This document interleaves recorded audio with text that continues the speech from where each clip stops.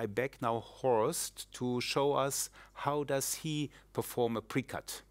Yes, when and how I do pre-cut. So when, in case of a difficult biliary access, and this has been defined by an international consensus recommendation, in case of a failure of selective biliary cannulation with standard techniques within 10 minutes, with up to five attempts of cannulation, or due to inaccessibility of the major papilla. And this occurs not only in our, but also in other centers in about 10 to 15% of the cases. Now, how I do it?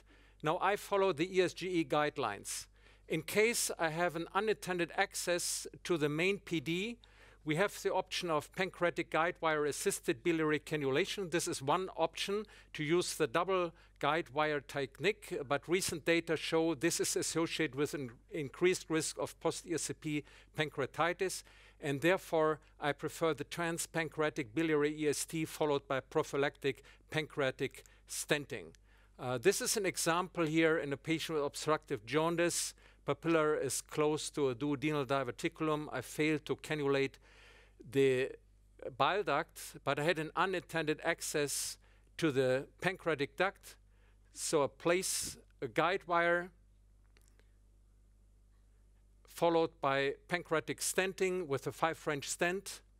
So this protects the pancreas. Secondly, we block the pancreatic orifice. Thirdly, we straighten the common channel, which should allow an easier access.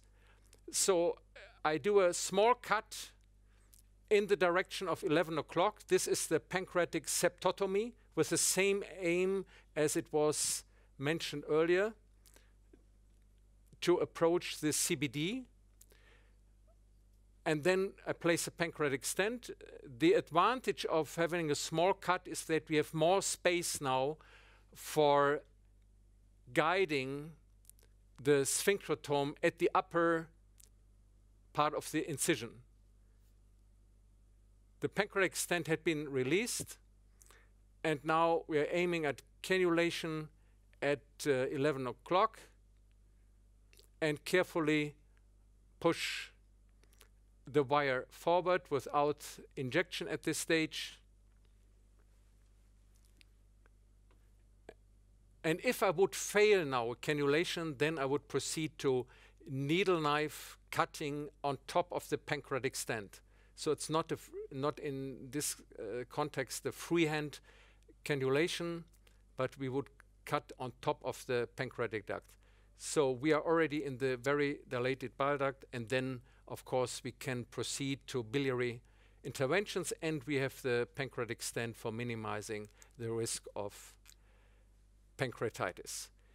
In case we have no intended unintended access to the main PD according to the ESGE guidelines, pre-cutting instead of persistent cannulation, a needle knife fistulotomy as the preferred technique for pre-cutting.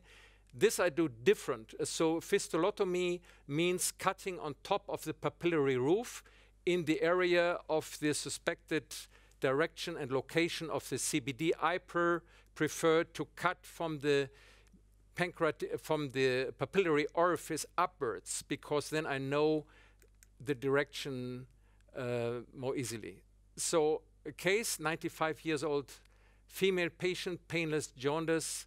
Uh, this, of course, a candidate for palliative uh, drainage, suspicion of pancreatic carcinoma, referral after two failures of ERCP. And as you can see, the papilla is located inside the diverticulum. And I Suppose it would be even difficult with the ampulotome to cannulate the papillary orifice. Of course, I tried it first uh, to get the tip of a standard sphincterotome into the orifice, and then by bending the, the sphincterotome to pull the papilla towards the edge of the diverticulum, but I failed.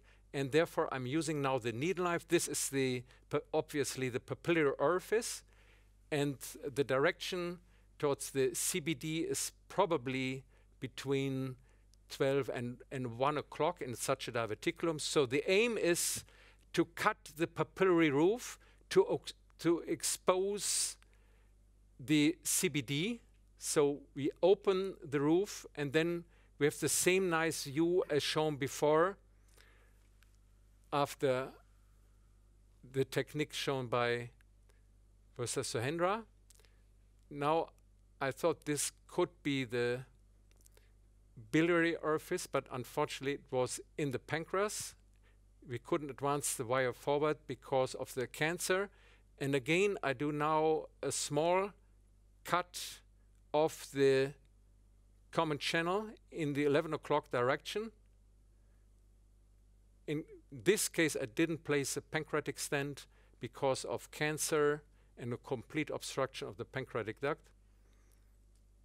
And therefore now I identified the access uh, to the CBD and as you can see so far no injection just careful manipulation with a hydrophilic uh, wire and uh, we're in the CBD and uh, this is now the obstruction and then we can negotiate the stricture.